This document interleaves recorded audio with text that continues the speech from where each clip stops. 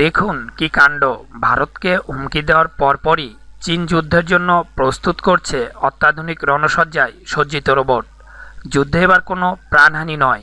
সীমান্ত প্রহরা হোক কিংবা শত্রুপক্ষের সঙ্গে সম্মুখ সমরে লড়াই, সব ক্ষেত্রেই এবার সবার সামনে থাকবে রোবট। যুদ্ধে ব্যবহারের জন্য এমনই অত্যাধুনিক তিনটি রোবট প্রকাশ্যে আনলো চীন। বেইজিংয়ে চলা রোবট সামিটে এই অত্যাধুনিক রোবটগুলি প্রকাশ্যে আনা হয়েছে। এহেন রোবট প্রস্তুতকারী সংস্থার দাবি, সন্ত্রাসের বিরুদ্ধেই হোক কিংবা শত্রুপক্ষ দমনে উল্লেখযোগ্য ভূমিকা নেবে এই রোবটগুলি। সংস্থার তরফে দাবি করা হয়েছে, যুদ্ধের ফ্রন্ট লাইনে এই রোবটগুলি যথেষ্ট দক্ষতার সঙ্গে রাইফেল এবং গ্রেনেড লঞ্চার পৌঁছে দিতে সক্ষম। এছাড়াও এসব রোবট যুদ্ধক্ষেত্রে নিজেদের মধ্যে যোগাযোগ রক্ষা করে কাজ করতে পারবে। এসব রোবটের একটিকে নজরদারির কাজে নিয়োগ করা যাবে।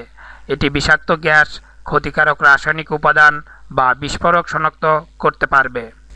এছাড়া নজরদারি চালিয়ে পাওয়া এসব তথ্য ফ্রন্টলাইনের সেনাদেরকেও জানিয়ে দিতে পারবে এ রোবটগুলি। নজরদারি চালানোর সময় কোনো ভুল হলে পরিস্থিতি সামাল দেওয়ার জন্য পাঠানো হবে অর্ডিন্যান্স ডিসপোজাল বা ইওডি নামের রোবটকে। ইওডির ওজন বারো কেজি এবং ব্যাকপ্যাক বহন করতে পারে এটি।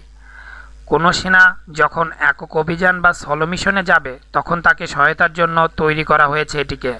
পরিস্থিতি যদি বিপজ্জনক দিকে মোড় নেয়, তাহলে হামলার কাজে ব্যবহৃত রোবট বা অ্যাটাক রোবটটিকে নামানো হবে। হালকা অস্ত্র, রাইফেল এবং গ্রেনেড সজ্জিত এ রোবট বিপজ্জনক পরিস্থিতি সামাল দেবে।